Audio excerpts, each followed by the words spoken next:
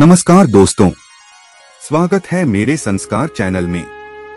दोस्तों, अगर अपनी ज़िंदगी में कुछ नया सीखना चाहते हैं तो चैनल को सब्सक्राइब ज़रूर करिएगा।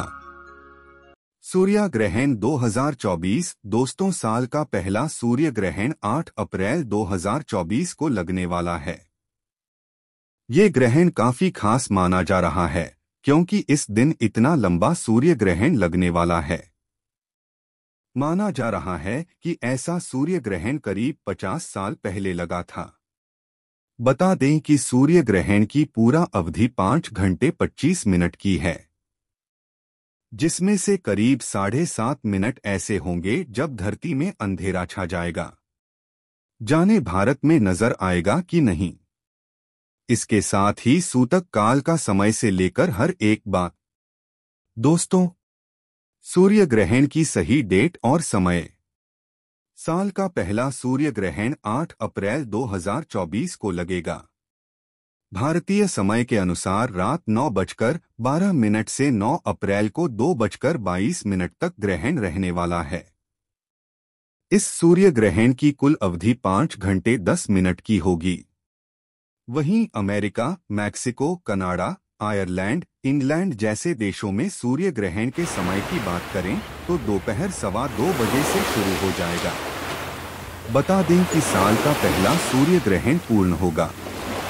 इसे खगरास सूर्य ग्रहण भी कहते हैं। इस स्थिति में चंद्रमा, पृथ्वी और सूर्य के बीच आ जाता है। ऐसे में सूर्य का प्रकाश धरती में जाने के लिए कुछ समय के लिए रुक जाता है। और चंद्रमा की पूरी छाया पृथ्वी पर पड़ती है, जिससे अंधेरा छा जाता है। ऐसे में ये पूर्ण सूर्य ग्रहण के रूप में दिखाई देता है। हिंदू शास्त्रों के अनुसार किसी भी ग्रहण के शुरू होने के कुछ घंटे पहले सूतक काल शुरू हो जाता है। सूर्य ग्रहण की बात करें तो सूतक काल करीब 12 घंटे पहले शुरू हो जाता है। और समापन के बाद ही समाप्त होता है। इस दौरान किसी भी प्रकार के शुभ कामों को करने की मनाही होती है।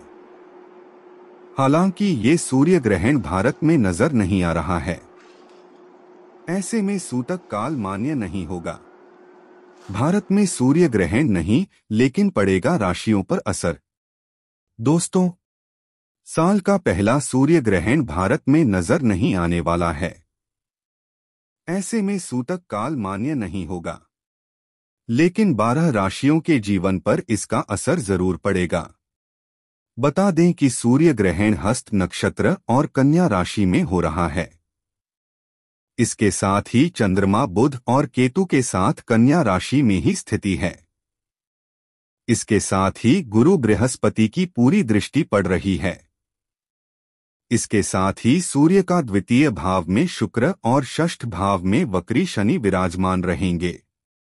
ऐसे में कुछ राशि के जातकों को लाभ मिलेगा तो कुछ राशि के जातकों को मानसिक, शारीरिक तनाव का सामना करना पड़ सकता है। इसके साथ ही वैवाहिक जीवन में तनाव उत्पन्न हो सकता है। आर्थिक चुनौतियों भी आ सकती है। इसलिए थोड़ा सचेत रहने की ज़रूरत है।